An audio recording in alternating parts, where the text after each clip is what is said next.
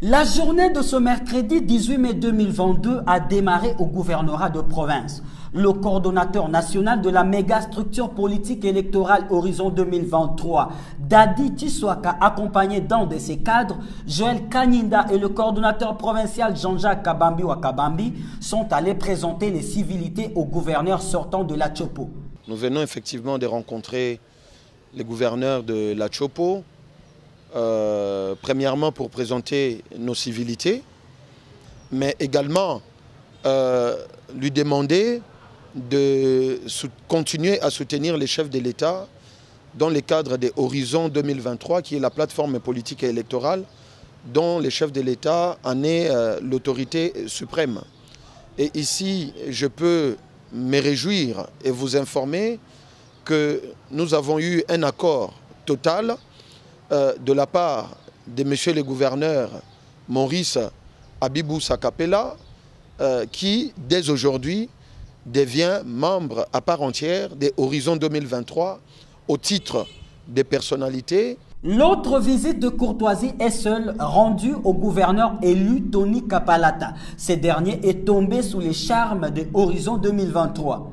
En notre qualité de coordonnateur national, mais aussi de coordonnateur de la maison civile du chef de l'État. Nous sommes venus les voir, les saluer, les féliciter et euh, lui parler de la plateforme politique et électorale du chef de l'État, chercher à obtenir son soutien indéfectible au président de la République, chef de l'État. Et nous sommes très heureux. Je peux vous garantir que le chef de l'État vient de trouver euh, un digne représentant dans la province de la Chopo qui accepte volontiers non seulement de l'accompagner, mais aussi de prendre à bras le corps Horizon 2023. Dadi Tiswaka et sa suite se sont rendus au cimetière de six jours où ils ont été accueillis par des victimes dont l'espoir a été ressuscité par le président Félix Tshisekedi à qui ils ont adressé un mémorandum. Pourquoi nous soutenons?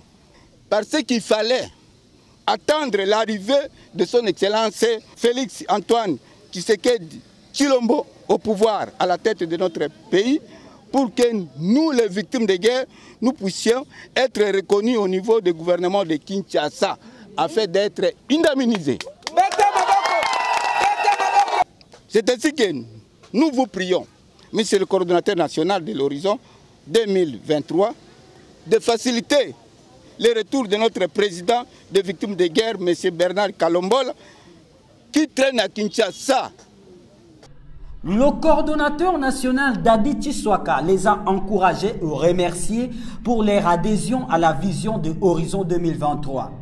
Bisa, papa Bruno Miteo, chef de la maison civile, chef de l'État, tokende elongo, ministre son excellence Fabrice Puela, oyo azali na dossier oyo, pour que ensemble na maison civile, tolandela pour que ya solo na fin du mois oyo ti tokóma na début ya mois de juin paiement esala nini?